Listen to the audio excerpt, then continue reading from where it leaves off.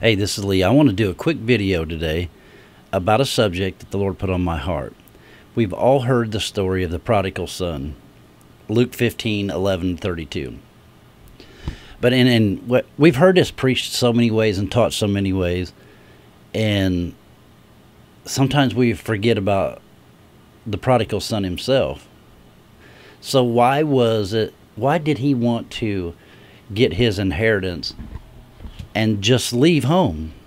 Well, the reason he did is because he always had his eyes somewhere else. He was always thinking about how someone else lived or what somebody else had or just being someplace else.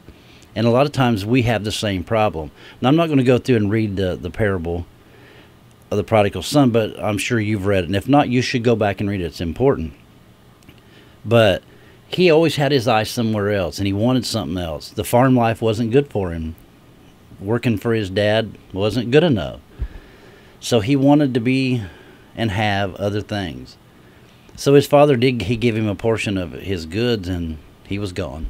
Well, we know how that turns out. So in our life, I really believe the reason Jesus told us this parable and it's still with us today is because it's it works. it's the truth. And I meet so many people and I get emails and different things people write me and they they just lose their drive or their the reason why they're where they're at or and they just get confused and their mind starts to wander. And of course Satan's there to help you drift. He wants you to drift your mind to drift somewhere else, on another person even. At to live in another place and the eyes never satisfied the bible talks about. Well here's the thing is what is the value of your husband or wife and your kids?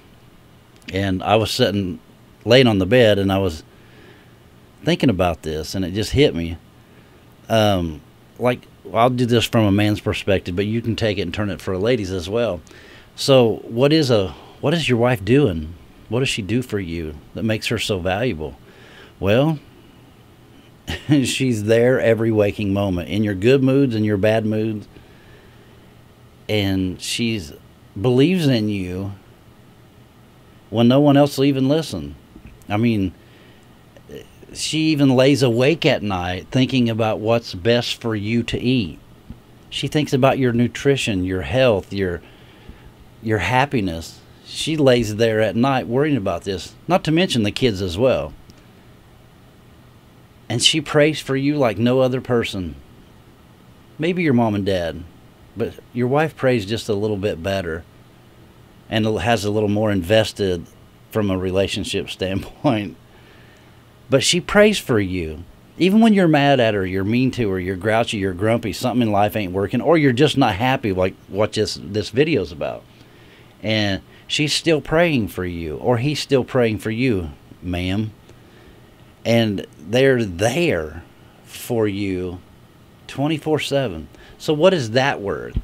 Well, it's worth everything to have an ally, to a partner, a person that believes in you no matter what. They are the other half of your heart. There's no question. There, a, a wife or a husband is invaluable if they're doing the right things. So together you're strong. Separately you're weak.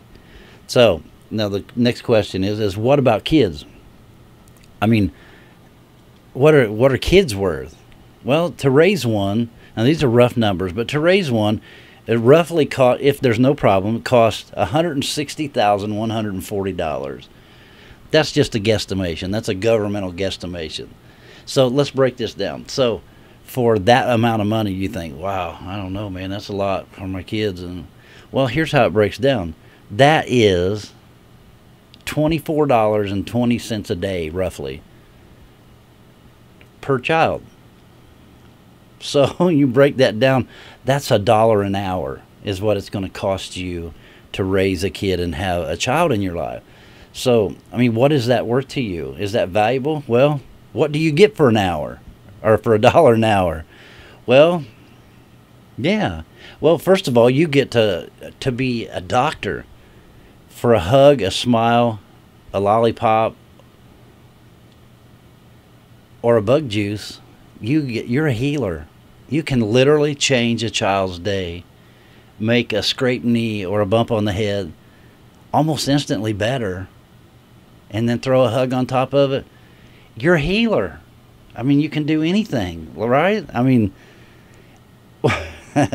when you look into a child's face or your spouse's face, you should see the face of God. Whenever you make them laugh, you should hear the voice of God. I mean, that's exactly what a family, the value of a family is worth. When you make a child laugh and you make it happy, yeah, it, it's it's you see and hear God. You hear Jesus. this is what the value of life's about. If you want to know what your value is, that's your value. That's what all this is worth.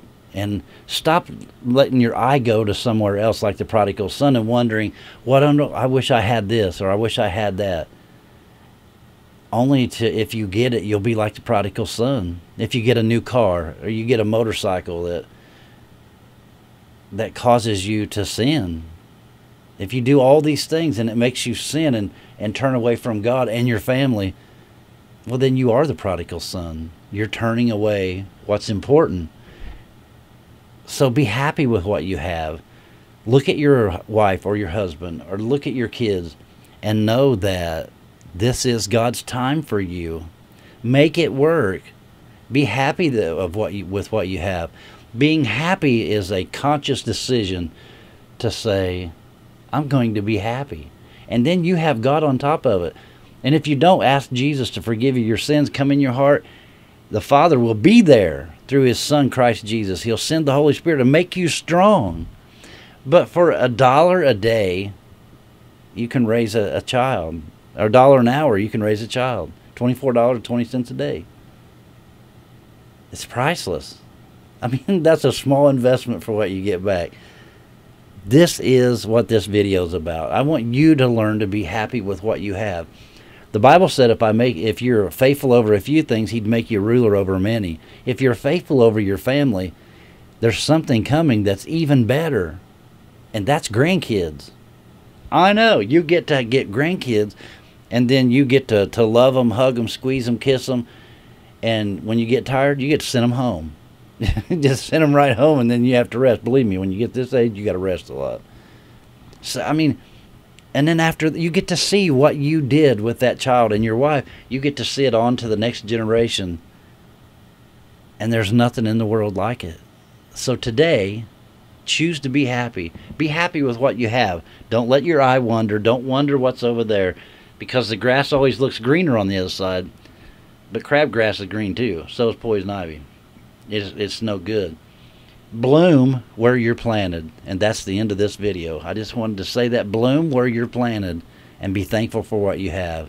And the small investment that you put into your spouse and your kids and your job will all pay off. I promise you. So stick it out, stay strong, and I'll be back real soon.